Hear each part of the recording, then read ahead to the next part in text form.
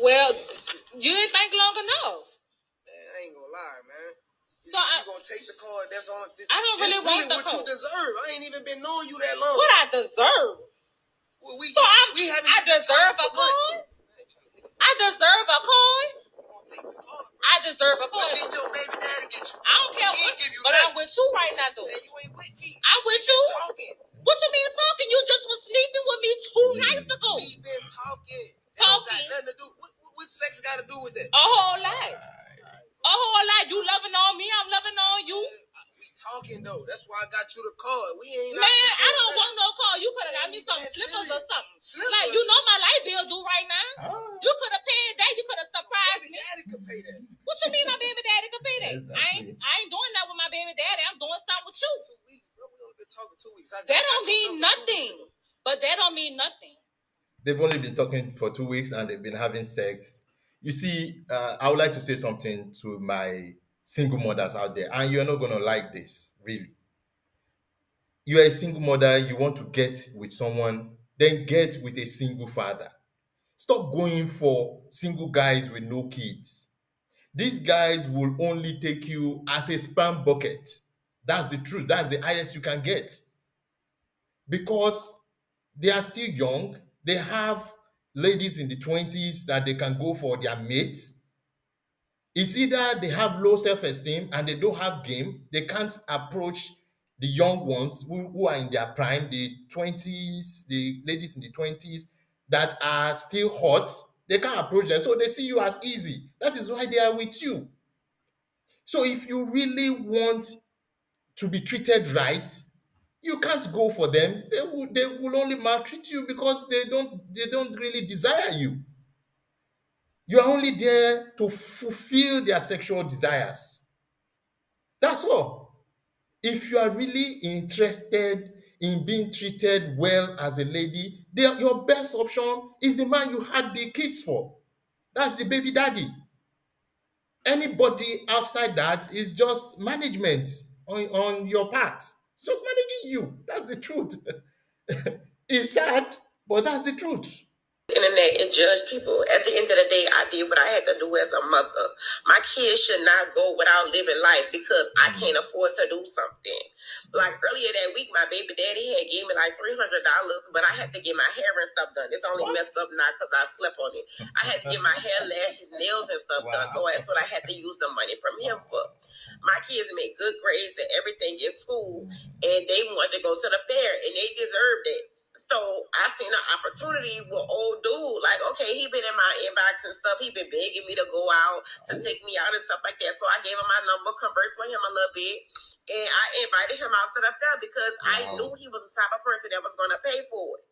So all I did was did what I had to do as a mama to make sure my kids can enjoy themselves. So I don't care how y'all look at me and how y'all judge me. I am a damn good mother. It's a lot of moms that wouldn't even do what I do to make my kids happy. I am a good mom. Hmm. You know, like I don't want to. I'm not attracted to him. I did what I had to do. Well, let's just stop it right there. Let me tell you, my dear, you are not a good mother. The first reason why you are not a good mother is that your baby daddy gave you $300 to spend on your child. And the next thing you did was to go and do your nail and your hair. My dear, you are not good in any way. You are not even a mother in the first place.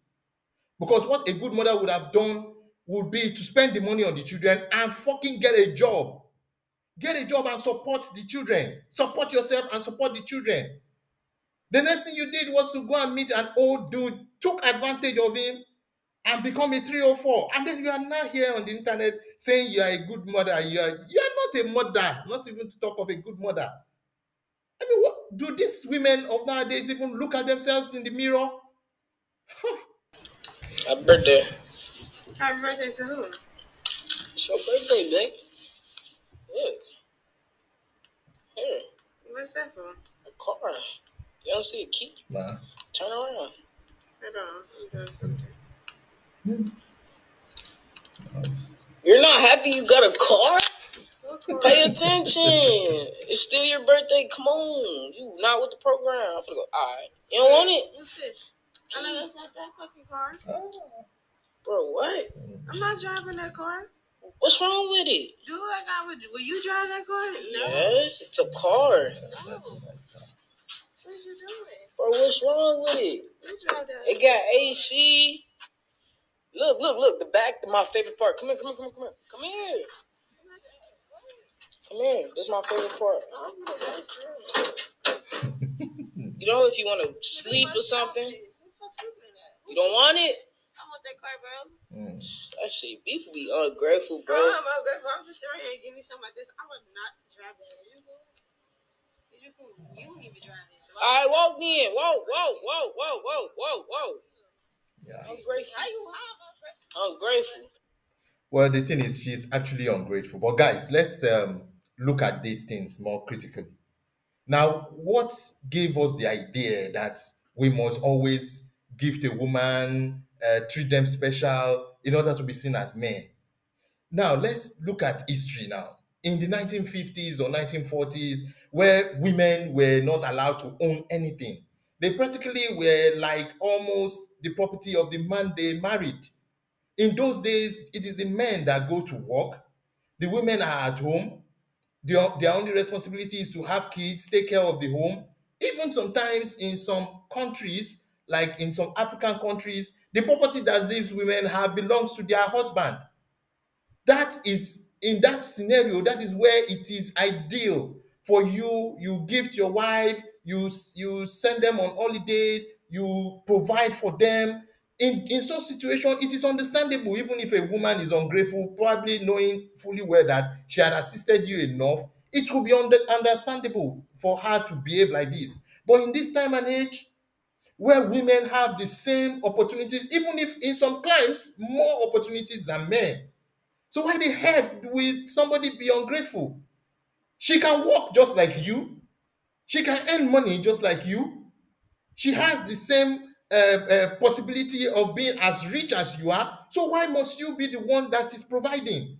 We need to really look and think deeply about this mentality of a man is a provider.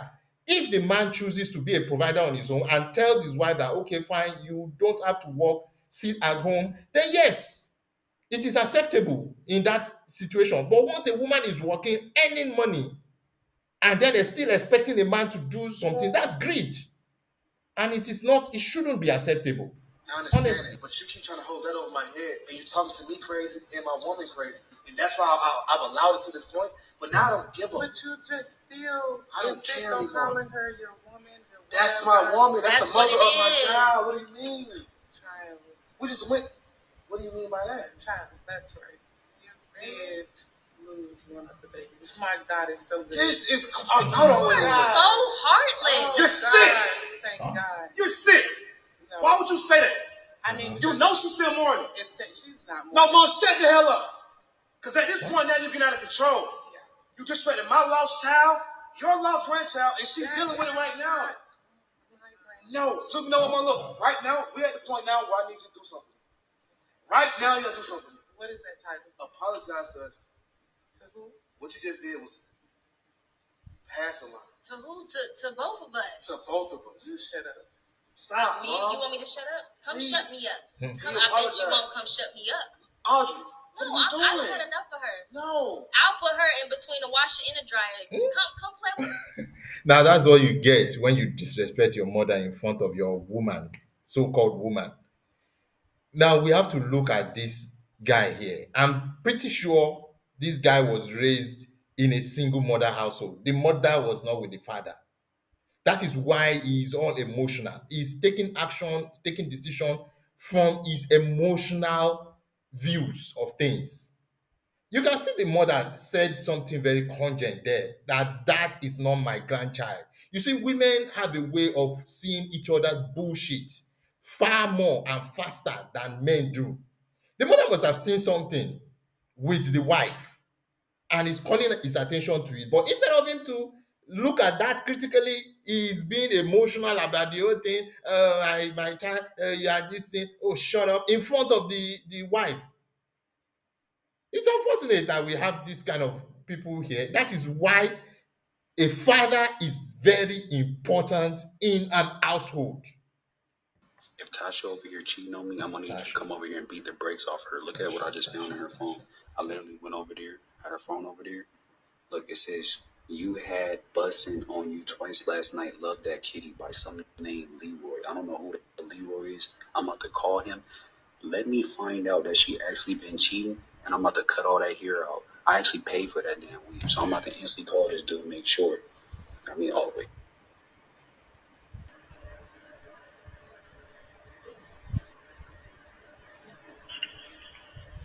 You've reached the voicemail of Leroy, Mr. Sugar Daddy Nasty Time. Leave a message at the tone and I'll get back to you. Thank you. Who is this messing with my Sugar girl? Messing with Tasha. Call me back. Who the hell is you, bro?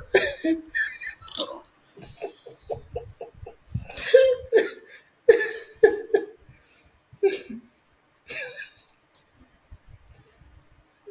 Sugar daddy nasty time. Oh. Wow. What are you doing? What, what are you doing? I'm cutting your damn hair. Who is Leroy? Away! Who the hell is Leroy? I'm about to expose you, and I'm about to have my cousin beat the brakes off you. Nasty time. Who is this? Some dude named Leroy says you had you busting on you twice last Wow. night. Love that kitty. Who the hell is Leroy? Hold on, I'm dizzy, man. What, what you What you talking about? You dizzy man? Take that damn hair. I'm about to cut out all that hair. No, I'm cutting all your hair. No, I'm about to touch you. I paid for that. Who the hell is this Leroy, Mr. Nasty Time? Who is this? Who is this? Who, who is this? Who is this? Who is this guy? Hello? Hello? Who is that? You've reached the voicemail of Leroy, Leroy. Mr. Sugar Daddy Nasty Time. Leave a message at the tone and I'll get back to you. Thank you. You don't know who this is. He talking about love that kitty. It's two, three o'clock p.m. and you still sleeping. You don't know who this guy is talking about he love that kitty. My uncle. So your uncle is Leroy now. I never heard you ever mention this dude named Leroy. You just said this was your uncle. Now it's your friend. Man, I don't care about that. Cut that whole hair out of your head right now. I paid for that. So so hold on. What is he doing for you? Like why is like why is I don't get it. What's going on? Your phone he calling you back? What's up? what's up? What is this all about? Tell me about this. Who is this guy? You just said your uncle. You lying. You don't even know what to say. I just woke up. First of all, who knows to say when I freaking wake up? There's someone helping me with uh, some bills. What you talking about? I pay your bill, so you over here using You me? pay a bill. A bill. You, you telling me a bill? I just did your hair and I just paid your power bill. That's all you do, yes. Oh, you foul. You foul, and you get really cocky about it now.